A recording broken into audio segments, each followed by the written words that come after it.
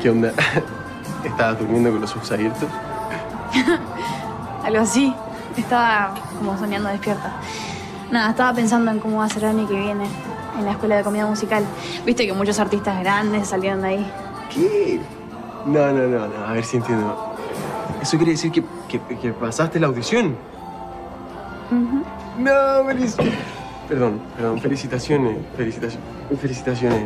Estoy muy feliz por ti. Me, me- me pone muy contento. Te lo mereces.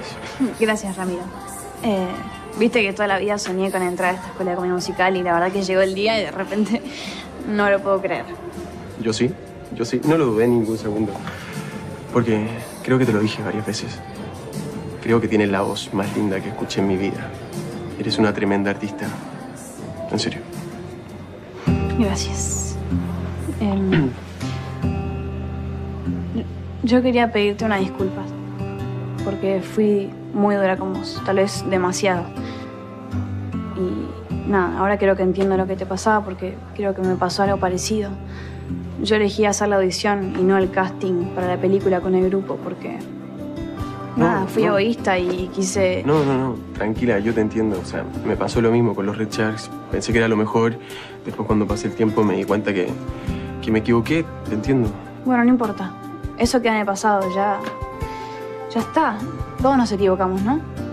Mm. Y aparte, tus amigos siempre te van a querer, sea como sea. Por tus errores y por tus aciertos. No, no sé, no, no entiendo. ¿Qué quiere decir eso que. que ahora somos amigos? Bueno, sí, por ahora somos amigos. Ah. Pero igual con una condición. Mm, ¿Qué condición quiere la señorita? A ver, Que cantes una canción conmigo. ¿Puede ser? no. Tú me estás pidiendo que, yo cante una canción contigo.